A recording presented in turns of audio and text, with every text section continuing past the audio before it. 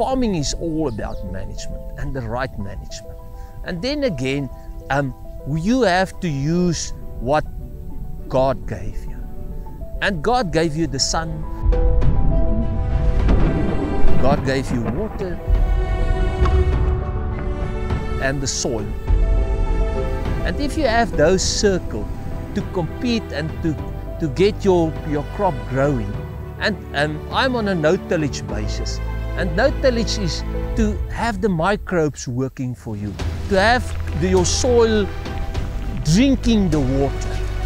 Uh, so it's, it's, a, it's, a, it's a new technique that started off in Argentina and I think it's, it's penetrating the whole world.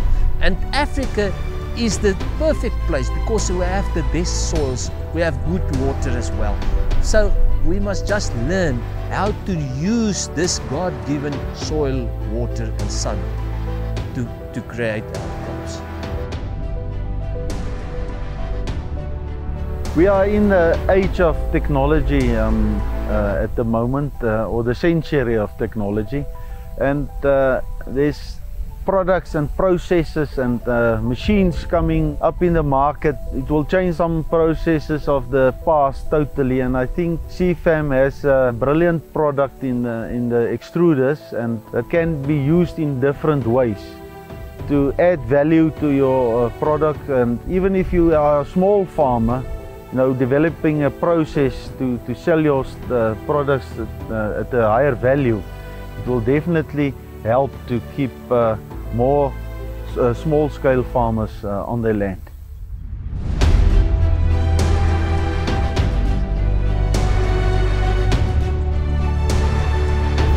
Management is very, very important. If you are in farming, management is everything. You have to manage each day. And um, in terms of smaller farmers, they must have the know-how. And again, government doesn't uh, create the environment for commercial farmers to get involved with those upcoming farmers to make them commercial farmers that know how to manage because management is everything and, and I think we have the best farmers in the world. Farming is in my blood. I was born in farming. I'm not doing anything without farming. I'm, I, am living farming every day. Yes, even my family, you can see my family are here every day. These uh, small boys are looking after the sheep. Every when they come to the school, they are here in the in the in the farm.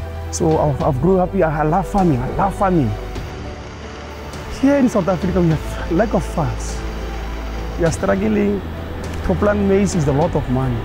It costs us a lot of money. Uh, when we go to sell this maize again, the prices are going down. That's, that's why we are not growing up because of the, the, the, the, the maize and the sunflower prices are changing every year and every year. Every day people need food. Morning, break, uh, lunch, supper is food from the farmers. We can feed our uh, communities with our own resources.